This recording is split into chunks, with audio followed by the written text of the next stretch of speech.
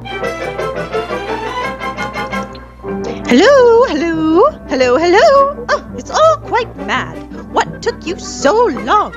I've been waiting here for uh, forever. It's really all quite mad, you know. Just between you and me, you've come along at the precise, exact, right moment of time.